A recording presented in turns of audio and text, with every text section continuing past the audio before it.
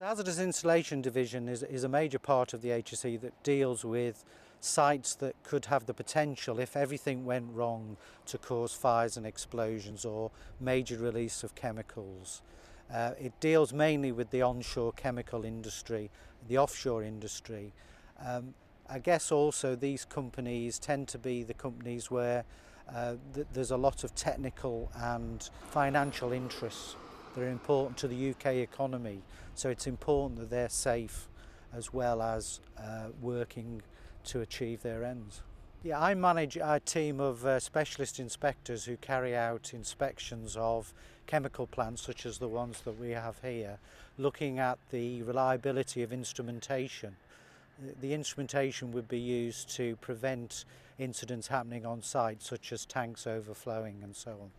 I um, I joined HSE as a physics graduate uh, and uh, joined as a factory inspector.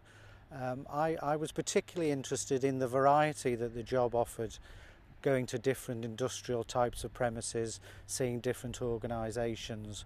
And in addition, there was a good combination of legal and technical and inspectorial skills, and that appealed to me rather than developing in a narrow area.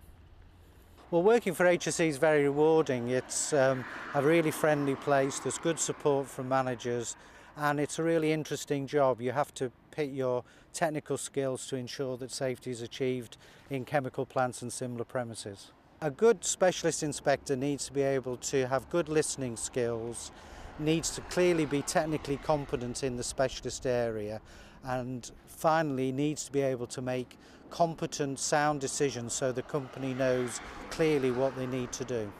Well, I think if, if you're interested in having an effect on safety and you wanted to use your technical skills, then uh, HSE and the Hazardous Insulation Division is a good career choice.